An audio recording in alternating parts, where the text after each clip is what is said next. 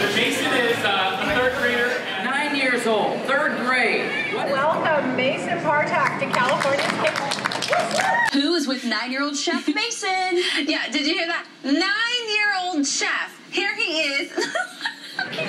so how long have you been cooking, Mason? When I started baking and decorating cookies, I was two, and when I was four, I started actually cooking using a knife and using kitchen tools. Whoa, whoa, whoa! Does your mom know you were using a knife at age four?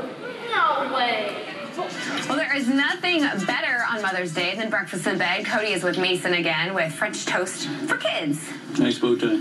Nice bow tie. I'm Kathy Partak. My son is Mason Partak, otherwise known as Mason Made. This is a story, my story, of what it's like raising a kid cook. He has a YouTube channel, he does live cooking demonstrations, he cooks on TV sometimes. Everybody wants to know, how did you know your kid was a kid cook? The answer is I didn't know. I got an invitation to cook at Tomato Fest. And he said, I want to do it. And I said, you want to do it? You want to do it with me? He goes, no, I want to do it. And I said, well, what are you going to make? And he had an answer. He had a recipe.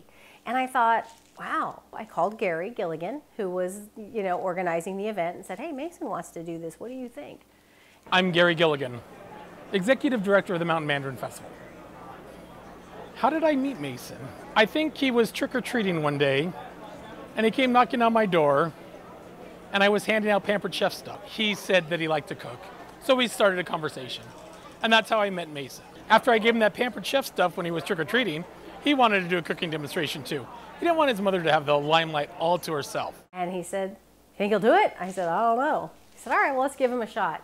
We gave him a shot, and it was really, really impressive. He was eight years old, never been on a stage before in front of people. He got up, he chopped, he talked, he cooked, he talked, told stories, but he did it. And I was on stage with him. It was my first cooking demo as well. And at one point I remember sort of looking over to my right and watching this little being. Where did this come from? Like, who is this kid? How did this happen? And I think Mason's main drive was really to be in front of the camera, in front of an audience, and that's where Mason's true talent is, is being a celebrity chef. Hey everybody, it's Mason and I'm at Chelsea Market, the home of the Food Network. And Food Network, I'm coming for you. You better watch out. He's been on Connecticut Live. He's been to New York. Um, but he's got to have a lot of that drive himself to do this. And sometimes it's there, sometimes it's not there. It's tough being a kid in a grown up world. But guess what? If you want those opportunities, if you want to go to New York and be on the Lisa Oz show or Connecticut and appear on Connecticut Style, you want to do Good Day Sacramento, Fox 40, you need to show up and you need to be professional. Four, five, six, seven. You got three minutes if you want to wait. No, I'm ready. Right on time. He pisses the hell out of me sometimes. He is sometimes extremely arrogant, full of himself, fat headed, and lazy. Now, certainly there's leeway for Mason because he's a kid. They give him quite a bit of leeway and they find him very entertaining when his ego gets big and he's full of himself. I don't find that as humorous. I am an internet sensation, YouTube sensation, sensation in my own. There's some real value in letting other people praise you, letting other people lift you up, instead of you being the one to show up and say, I'm great. Mason has the potential to go really far in this industry. He's got the interest, he's learning the knowledge. We just have to keep him focused. After doing the Tomato Fest, Gary invited him back to cook the Mandarin Festival. From there, he's been invited to cook in Petaluma, in Napa. Um, the State Fair usually has him do several cooking demos through the year. So it's opened some doors for him. He's been able to do TV with executive chef Ty Rowe from Bootleggers, who has become a family friend of ours and who has really helped to foster, you know, a really good work ethic in Mason. Hi, my name's Ty Rowe. I'm the executive chef and owner of Bootleggers Old Town Tavern and Grill in Auburn, and I'm here to talk about Mason Partak, who I have known for several years now and is developing into a very good young chef. People like Gary and Ty and these other people who have worked with Mason, they are hard on him like Dave and I are. They don't cut him the slack for being a cute kid. And they remind him all the time that to be successful means you need to work. You need to work hard. Sometimes he wants to be a 10 year old kid. And when you're performing in the adult world, you have to remember that you're not always a kid. No matter how much you don't like it, no matter how many tantrums you want to throw, you always have to play cool. And I have to keep reminding him that, that he's on stage. And when you're on stage, you always have to be professional. Yes, we fight. And I'm here to say being a parent is not easy.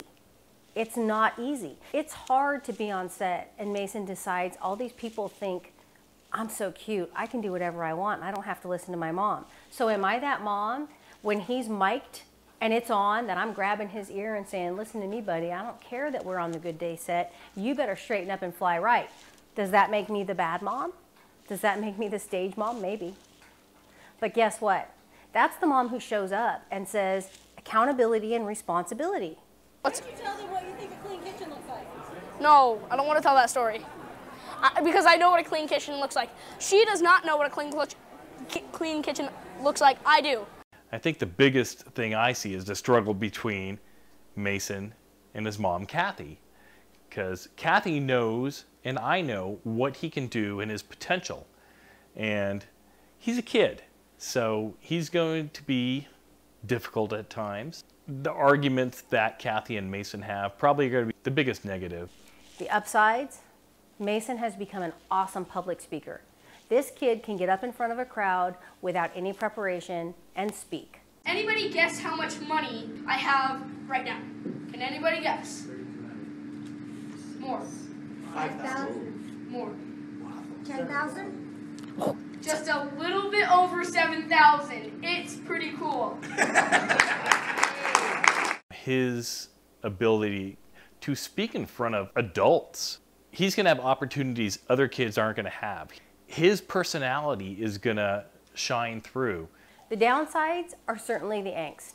The angst between Mason and I, um, the potential for people who think he's more than he is and are continually telling him how great he is, when really what he needs to hear is, you know, you can work harder sometimes. You can do a little better. Mom, what's your story? I don't have a story. Dad, story. Um, dang it. I consider myself incredibly lucky. I have a kid who is very smart. He is very driven. He is very talented. He's healthy. I'm happily married. We have all these really great things that are going for us. The fact of the matter is, having a kid cook is not always easy, but I wouldn't trade a minute of it for anything. Well, Mason, I don't think the journey's over. I think the journey is just kind of in its infancy. Uh, you've got a lot of talent.